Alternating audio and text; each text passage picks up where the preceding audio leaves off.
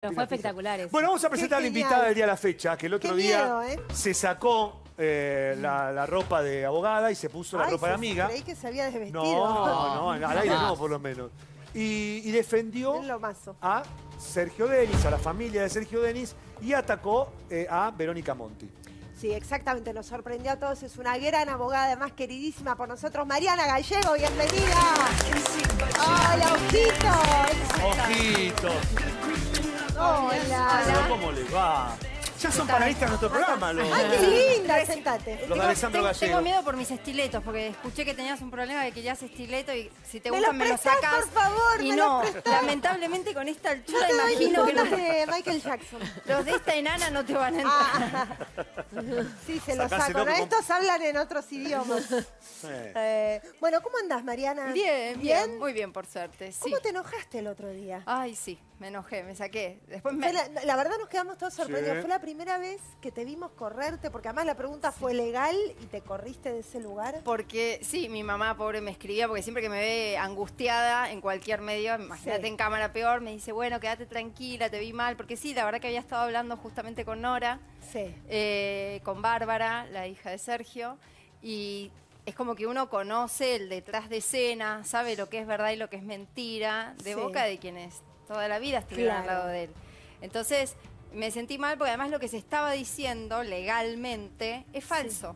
es O sea, falso. es falso totalmente en que estaba esta medida y todo eso. Entonces, Sí. por eso de alguna manera qui- quise hacerle preguntas para demostrar si realmente ella sabía de esa existencia, que bueno, nada, obviamente ser? quedó claro que no. Puede ser lo que hablamos el otro día acá, que ella no va a la justicia a reclamar nada porque tiene algunas denuncias también hechas y porque no le llegan eh, La notificación. eh, notificaciones. No, ¿Puede yo- pasar a eso? ver, yo no creo que no vaya a hacer denuncias por, por eso. Yo creo que no va a hacer ninguna denuncia porque vuelvo a decir, no hay ninguna restricción. Entonces, si ella lo que quiere es poder verlo, en realidad no tendría, Tendría que hacer- ir. Claro, tendría que ir y cuando Sí, llegue pero no está al lugar. autorizada. Pero a Pero ver, fue, es lo que Fue, vos hablabas Mariana. ayer con mi marido. Sí. Eh, que en realidad en terapia intensiva no se puede entrar a ver a una persona. Claro, Los claro. únicos autorizados son en un breve tiempo, que en el caso concreto de Sergio es de 12 a 13, 18 a 19, como lo han informado, y es eh, en caso de que puedas entrar porque los médicos autoricen, es el familiar directo. O sea, no es que alguien le prohíbe la entrada. La realidad es que en terapia intensiva todos los que hemos lamentablemente tenido a alguien Sí. ahí saben que no. Pero si fuera la pareja es familiar directo. Claro, bueno, pero más allá de eso, si fuera la pareja, como vos señalás, él está en un estado en que sabemos que no reconoce a nadie. O sea, no hay eh, forma de, de hablar con él ni, ni de lograr ninguna comunicación. Entonces, la- los que de alguna manera queremos estar cerca para apoyar, Apoyan a la apoyamos familia. a la familia, claro. ¿entendés? Entonces, el nivel de estrés que generaría ir a apoyar a alguien con el que obviamente estás enfrentado porque te dedicas a ir a todos los programas a decir que la culpa la tienen los hijos y cómo Mariana, querés que pero te si ella no hubiese salido por todos los programas a hablar y a exponer así a la familia, ¿vos Sí. creés que si ella les hubiese pedido, lo hubiesen Seguro. dejado entrar a verlo? Pero seguramente, pero seguramente. Porque esa parte no se entiende. Si Claro. vos haces eso, sabés que no te van a permitir entrar a verlo. Eso es lo que digo. No viajó a Tucumán. Cuando lo trasladan acá, siguió con este discurso de que eh, en realidad la familia lo abandonó y que la falta de control de medicación Eso generó. es mentira, Mariana, porque a mí siempre me queda la duda, ¿no? Porque también se habla de. Él estaba perfecto cuando, ya lo hemos hablado con José también, cuando se sabe que él tenía problemas. Pero ¿no? totalmente. De, de- de- de ánimo, no sé, Sí, de ataque de pánico, lo que Sí, sea, sí. de depresión, cual, o sea, se habla de una perfección que tampoco era. ¿La familia estaba de verdad presente? No, o sea, yo no sé quién hablaba de perfección. Eh, los que conocen a Sergio saben que él estaba perfecto arriba del escenario.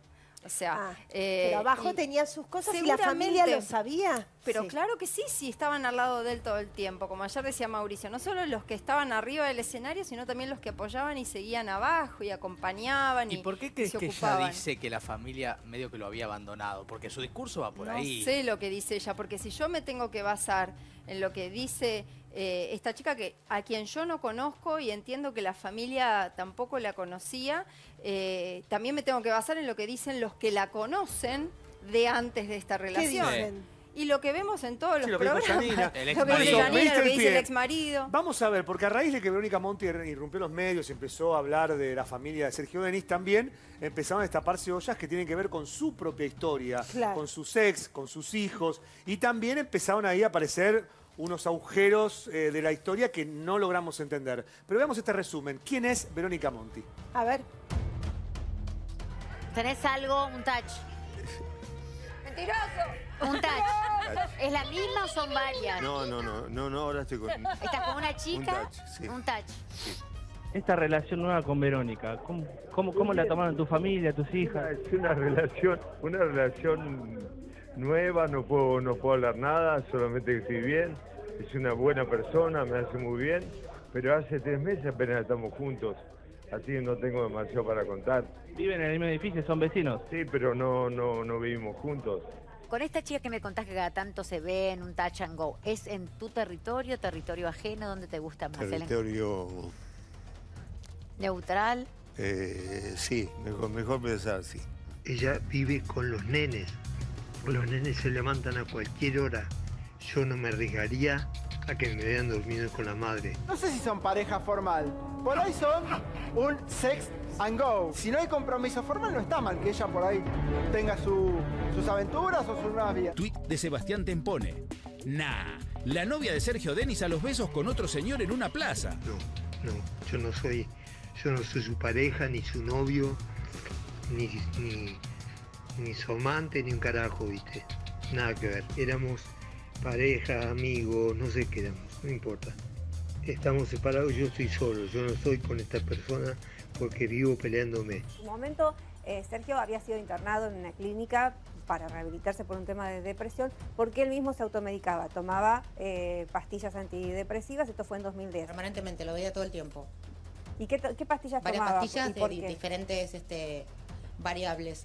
Yo realmente digo, es una locura que te estés medicando solo. O sea, es peligrosísimo.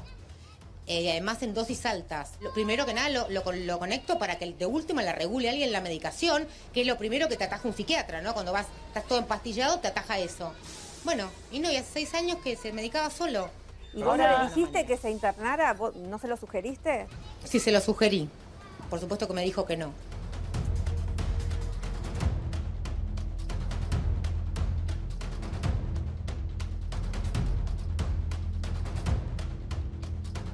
Verdad que estar, no estoy bien, estoy la verdad que muy triste. Eh, me enteré en la mañana eh, por amigas que me mandaron mensajes. Yo hablé con él ayer, nueve menos cuarto de la noche. Eh, hablé dos veces y la verdad que después me desconecté. O sea, me enteré por amigas que me preguntaban y yo no tenía idea qué estaba pasando. Ahí es cuando me informo. Verónica Monti tiene eh, al parecer una restricción legal para acercarse a verlo a Sergio Denis, no puede verlo eh, a él. Bueno, hay una restricción, un impedimento para que yo lo vea, firmada por un juez.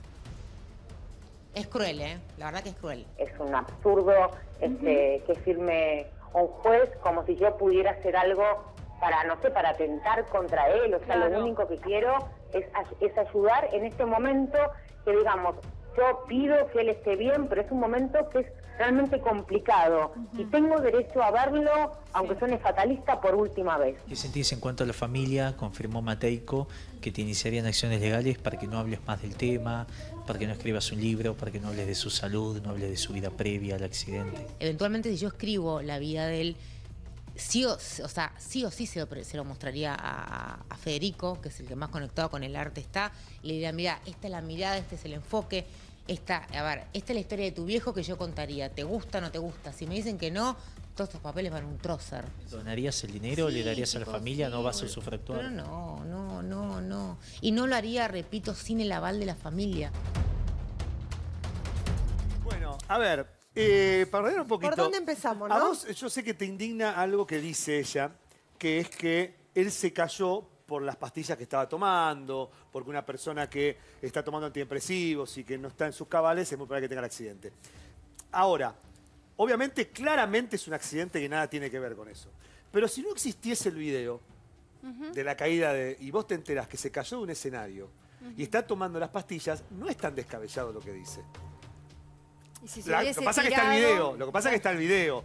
Pero si vos te enterás, Sergio Denis se cayó de un escenario. ¿Cómo se cayó de un escenario? Y sí, estaba tomando pastillas porque está antidepresivo. Sí, no José, pero también te enterás eso. después que se cayó un bailarín de Panamá. No, que ya casi lo sabe, sé. digamos, Pero por eso digo, no, claramente es un accidente. sí. Claramente es una, una cosa que. Además, un tipo que estaba bailando hasta un segundo antes. aparte, o sea, como no si es que estaba ¿Vos viste cómo sube la escalera? Mejor que yo, que Sí, cuando de eso te digo, estaba perfecto o sea, estado. creo que la conclusión es que ella está aprovechando esto para tener cámara y para que lamentablemente también todos estemos hablando de ella, porque Pero- ya había ido en, su- en el pasado a buscar No un novio porque televisión. Yo lo que voy es, ella habrá pensado, si hablo mal de los hermanos, voy a tener cámara. a mí me parece que, pero a mí me parece que tiene ganas de hablar mal porque es así ella. No, José, No ella creo que sea sabe por- cómo son los medios y ¿Ah, si, sí? y- pero más bien, si ella la jugaba de buenita. Pero, si ella la juega de buenita no le dan ni dos minutos, porque es así, porque eso no vende. Pero ¿cuál es el objetivo esto? para vos? ¿Pero qué? Pero algo más tiene que haber. Y sacar No. el libro. Bueno, sí, de- ni hablar que debe haber atrás quizás. Eso. Ahora, se lo te pueden quiero hacer pedir. una pregunta Claro, legal, eso. Mariana, Cámara. porque hablamos con el abogado del, del papá de los chicos, Ujú. de los cuales el, el hijo más grande lo reconoció, la segunda dice que ella lo fue a tener sola, entonces no tiene el apellido del padre, el padre está reclamando ese apellido Ajá. y dice que lleva un año queriendo ver a sus hijos y que ella se lo impide. Pero ella dice que no, que hace Y cuatro él años que no dice que le manda, eh, eh, ¿cómo se llama esto? Como Citaciones, notificaciones. notificaciones que ella no las recibe y lleva un año sin ver a los hijos. Ella dice que venga. Él tiene un régimen de visita homologado, los puede ver cuando quiera, nunca vino él. ¿Puede ser que un padre esté durante un año pasando cuota de alimento bien, haciendo todas las cosas bien y que una madre no le entregue a sus hijos y no que haya un tampoco- juez de menores que, que se los entregue? Sí, eh, claro que puede ser. De hecho, hace un rato atendí a una señora que hace cuatro años no ve a su hijo. O sea, claro que sí. Eh, pasan hay un montón de cosas. ahí atrás sí, que- bueno, sí. Hay muchos jueces. Y gracias a Dios hay muchos jueces que trabajan muy bien y hay otros que no. Entonces, eh, sí, claro que puede ser eso. Y quizás él tendría que aprovechar, yo no puedo hablar del trabajo de otra colega ni, ni qué pasos procesales ha cumplido, pero ya que ella lo ha ofrecido mediáticamente, yo iría con un escribano a constatar si me permite ver a mi hijo. Mariana. Claro, ya que lo dijo en televisión. Ya que lo digamos. dijo, Respecto, respecto al tema del libro, que parece un poco loco, iba a decir una palabra eh, Justo un un poquito poco más loco. extrema. Eh, haber grabado a alguien que fue tu pareja, tener eso, decirlo en televisión y además anunciar que con eso vas a sacar un libro de conversaciones privadas. sí. Eh, eso se puede, se puede hacer, digo, es delito y al mismo tiempo si la familia lo puede impedir legalmente. Claro, por supuesto que lo puede impedir. Lo que pasa es que la familia de Sergio el tiempo no lo está ocupando ni en amparos, ni en medidas cautelares, ni en restricciones como ella cree. De hecho, no le hizo juicio al, al teatro. Exactamente, Total. lo está ocupando cada minuto que tiene en estar ahí. pero si tienen dos horas por día nada más, Y tampoco bueno, están. Y pero la energía ahí, de bancar también tienen que trabajar. está un montón de tiempo libre. También tienen que trabajar, Fernanda. Mariana, ¿y Todos viven de Pero, algo, ¿no? perdón, la otra parte que no me respondiste, ¿legalmente ya puede publicar algo que es conversación No, privada? no puede. Ah. Si lo hace, seguramente ahí sí va a haber un juicio de daños y perjuicios. Ah, ¿Pero los juicios se lo pueden hacer los hijos? Sí, claro. Sí, porque él está incapacitado hoy. Ah, Hoy sus representantes legales son los familiares directos, que en este caso, no habiendo cónyuge, son sus hijos. No, y además ella habló mal de los propios hijos, digamos. Los hijos habló mal de los hermanos, habló de abandono. Totalmente. Hoy Claro. podrían Habló estar de- haciendo acciones Claro, ahora, de ¿por qué no todo estilo. Podrían no solo hacer una restricción para que esta mujer deje de hablar en los medios, que no lo han hecho, por el momento al menos, sino que también ya podrían a- da- ¿Y por qué tener no daños y ahora? Vuelvo a decirte, porque yo lo que hablé con ellos es que consideran que cualquier cosa que ellos hagan, lo único que van a lograr es esto. Claro. Imagínate que sin una, La ponen víctima. sin una acción salió en todos Pero lados una a decir... cautelar para que no hable. Pero imagínate, una Fernanda, cosa legal, como se sin dice. hacer nada, salió y dijo, tuvo el descaro de mirar a la cámara y decir, hay una orden firmada por un juez. Que no bueno, a ver, mostrala. Y ella dijo acá Imagínate si mismo que ella conoce, sabe que está. sabe que Claro. está. sí. Entonces, imagínate Ya- si existiese. Ya Estaría seguimos. Mariana, eh, bancame un segundo. Ahora, en el caso en general, volvemos al tema de Sergio Denis con Mariana Gallego. Te quiero preguntar en, en general, no en este caso de, de Sergio. Eh, ¿Quién tiene más injerencia eh, a la hora de decidir sobre un enfermo que está en terapia intensiva en las condiciones de Sergio? ¿Los hijos o los hermanos? No, si existen hijos mayores de edad, los hijos. Los hijos. Sí. ¿Y si hay pareja con hijos en común pero no casados? Pareja con hijos en común. Claro, digo, si hubiese tenido Sergio hijos con esta Sí. chica, pero no estaban casados No, legalmente. por supuesto que siempre los vínculos, los más cercanos, son los que priman. Entonces, si, si hay un hijo mayor de edad y hay una conviviente, eh, son los hijos. La conviviente tiene que tener más de cinco años para superar en, digamos, poder de decisión. ¿Más de cinco años? Me tenés cuatro, es un montón ya. Más de sí, sí, Bueno. pero para Pero ahí no más tendrían hijos pero- mayores de edad. No, pero con digo, lo cual y con hijos menores, ¿qué- conviviente. te pregunto esto, ¿hijos menores Sí. conviviente de cuatro años Sí. o los hermanos? Madre, hay una madre. Y si no tiene ni madre, Ni una conviviente de más de cinco años, ni hijos mayores de edad, un hermano. Que acá en, en Y si no que se Argentina, replantee, porque si no tiene nada. ju- justamente en Pobre, Argentina, ¿no? ¿Quién se ocupa? Vamos a... Claro. eh, recordando, en, en Argentina decía, el primer caso de la Corte Suprema de muerte digna, justamente fueron dos hermanas de un hombre que estaba hacía 20 años postrado y ellas manifestaron que su hermano le había contado que no quería seguir con esto. O sea que los Ah. hermanos en ese caso jugaron un papel fundamental y fue el primer fallo. Gracias a eso existe hoy Ahora, si hubiera una pareja, por decirte, si conviviera con Verónica hace cinco años, pero no tienen hijos y existen hijos mayores de edad. Los hijos Tienen mayores. el mismo... Ah, los hijos. Siempre ver, es el hijo ante seguramente que si se ponen de acuerdo no habría problema. Claro. Claro. Ustedes recordarán el famoso caso del testigo de Jehová, que yo representaba al papá y estaba la, quería la tener- esposa. no quería por- hacer la transfusión de sangre. El papá sí, porque el chico estaba al borde de la muerte y la mujer no. Y bueno, y ahí obviamente ganó la mujer, ¿no? En este caso seguramente Claro. pasaría lo mismo, pero yo no descarto que Disculpame, cuando para hay cómo terminó eso. Y ahí, no sé si se acuerdan, que llegó a la Corte Suprema en cinco días. Tuvo tres Sí. instancias. En primera Sí. perdimos, en, en primera ganamos, en segunda perdimos y llegó a la Corte. La Procuración, o sea, el pueblo, el fiscal general dijo hay que transfundir. Y la Corte Suprema, Lorenzetti, mandó a, que la, el cuerpo médico forense diga si corría riesgo de vida en ese momento. ¿Y? ¿Y? dijeron que no, porque había recibido eritroproyetina, que es lo que reemplaza la sangre, y ahí salió el fallo diciendo que primaba la no voluntad, que era el papelito, y bueno, no se hizo la transfusión. Gracias a Dios, Pero Pablo sobrevivió. Pablo sobrevivió, Ah, estuvo siete meses internado, que quizá con una transfusión hubiese salido al día siguiente, Claro. pero y tuvo muchas consecuencias, pero gracias a Dios Claro, se vivió. otro, otro, Sí. otro integrante a este, a este claro, debate pero- que es la religión, La ¿no? religión. Sí, pero qué fuerte que, que un padre quiera salvarle la vida a su hijo y por el marido o la, o la Sí, esposa sí, no quiera. no quiera. es Por como la que religión, Te, desesperás. No, pero en este que- caso poner el caso de Sí. Sergio, que existieran los padres y quisieran, no sé, tomar una decisión y la mujer no. Pero es desesperante. Hoy Sí, no sí, se sí. puede Sí, tomar una, una decisión, digamos, si uno no... ¿Cómo es el tema de muerte digna y demás? Hoy lo que dice la ley, la eutanasia está prohibido. Sí. Lo que dice la ley es que lo que está permitido es la muerte digna, ¿Qué que es el derecho. Una cosa es inducir la muerte, que eso es la eutanasia, un médico que practique alguna práctica o una persona para matar a alguien.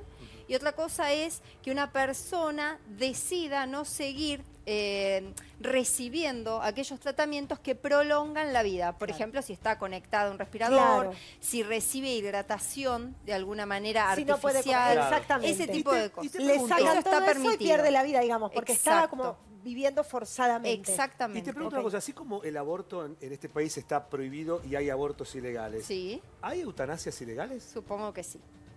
¿Lo suponés o no, no, no hay? Supongo- Viste que hay datos de abortos sí. ilegales. ¿Hay datos de eutanasias No, que se hagan? no hay datos porque no, imagínate es que clandestino. como es un delito. Bueno, pero el aborto también. Sí, Sí, sí. hay. Sí, Bueno, pero viste eso- en la es el película, en la película de Franchella, la de eh, la de Mariano Coni y Gastón El Ducati. Animal. gran maestro. Ah, no, No, el- la del- No, el Gran gran maestro. maestro. No, la obra Mi maestra. obra maestra. Mi obra maestra. Ahí hay una escena donde un médico le Sí. da una pastillita, ¿te acuerdas? Ah, sí, sí, sí. en el caso que el tipo se quiera... Sí, sí, sí, tenés razón. Eh, ahora seguimos hablando con Mariana, pero veamos este material. Ah, ¿la estamos definiendo? Sí, ya estamos. Ah, no te gustó lo que habló entonces. Porque ya no- Sí, la censuraste en vivo. Quieren que vuelva de Alessandro, Mauricio. ¡No! Ya lo Vas sé, a comparar estos ojitos. Te preferimos a vos, Mariana. Vas a comparar esos ojitos con esa papada, por favor. La prefe- te preferimos a Y vos. esos estiletos, claro. sobre todo. Estos estiletos. Ay, ahora me los quedo los Los estiletos son un sueño. Perdón, perdón. Mirá cómo me combinó este, este colorcito. ¿Lo ves acá? Mira, Sí, diré. perfecto. Mira el beige con el saco. Y el negro. ¡Qué elegancia! Y el negro, Si pará. estuviera ¡Ay, el Matilda, negro! le pone uno Y el negro. con el negro de la Claro, y el negro con la perla, el negro con la clarito gracias no, Mariana. no vamos a preferir a Alessandro con la brocha al cuello de la corbata, por favor. No le cierro. Que encima hacía así, que se mueve con la cámara, Sí, se sí, estaba con movía, el se palito de la Hermoso, él. Gracias, Mariana,